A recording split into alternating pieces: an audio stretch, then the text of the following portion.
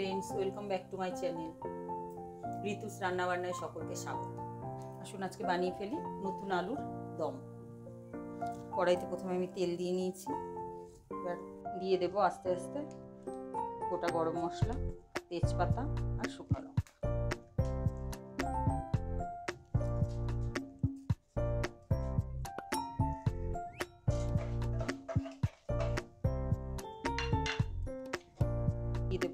কুচিয়ে রাখা কিছু পেঁয়াজ।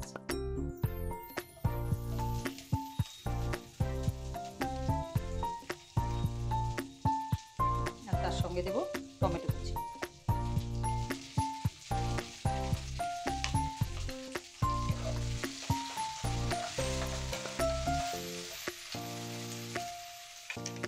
আর টমেটোটার মধ্যে দিয়ে দেবো সামান্য নুন। তাতে পেঁয়াজ আর টমেটোটা খুব সুন্দর সেদ্ধ হয়ে যাবে যেটা। খেতে খুব মিষ্টি মিষ্টি হবে।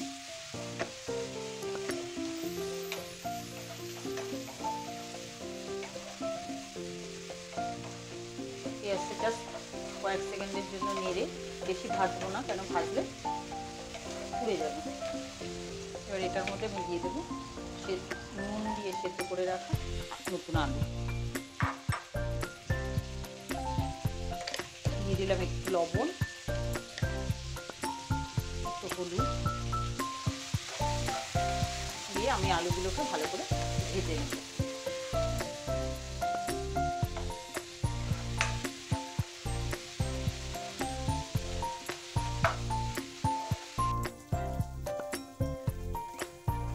আমার আলুটা সুন্দর ভাজা হয়ে গেছে, লাল হয়ে। এখন আমি অ্যাড করব মশলাগুলো। তার আগে দিয়ে দেবো আমি এক মুঠো মতো মটরশুঁটি। মটরশুঁটিটা ধুয়ে রাখা আছে। এটাকে জাস্ট দু তিন মিনিটের জন্য একটু নেড়ে নিতে হবে, যাতে মটরশুঁটির কাঁচা গন্ধটা চলে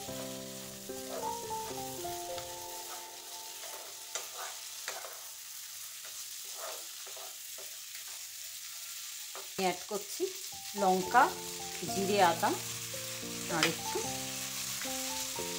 সামান্য পেঁয়াজ বাটা।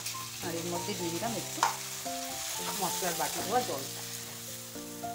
মশলার বাটি ধোয়া জল দিলে, একটু মশলার সঙ্গে জল না দিলে মশলাটা পুড়ে যাবে। এখন আমি এর মধ্যে অ্যাড করছি সামান্য হলুদ। আগে লবণ দেওয়া আছে, তাই লবণের পরিমাণটা অল্প দিচ্ছি।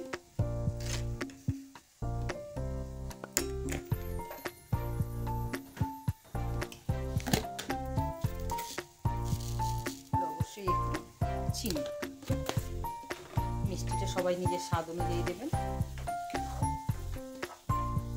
আমি একটু আলুর দমটা একটু ঝাল ঝাল পছন্দ করি।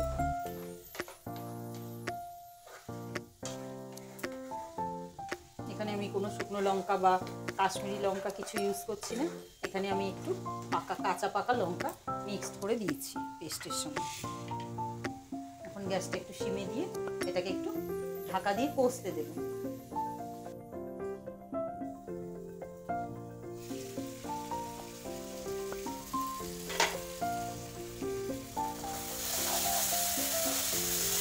আলুটা কষে এসেছে দেখুন সুন্দর তেল ছেড়ে দিয়েছে কালারটাও খুব সুন্দর এসছে।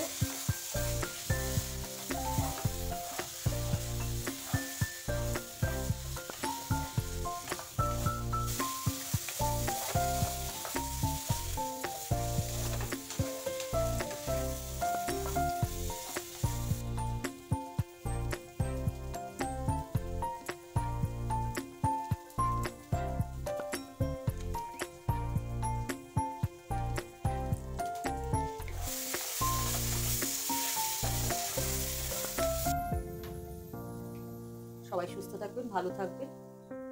থ্যাংক ইউ সার্ভ করার জন্য রেডি নতুন আলুর দম।